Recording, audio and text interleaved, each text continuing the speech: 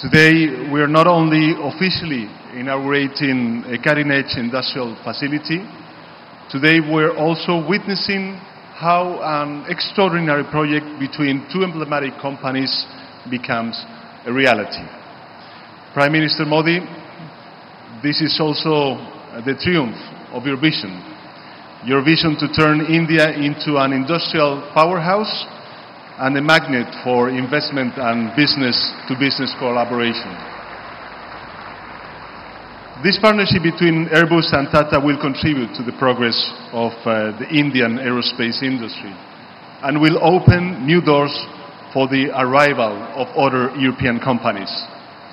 This project brings together the best of two worlds. Tata is probably the best exponent of Indian industrial strength. Its products and services are present in virtually every country on the planet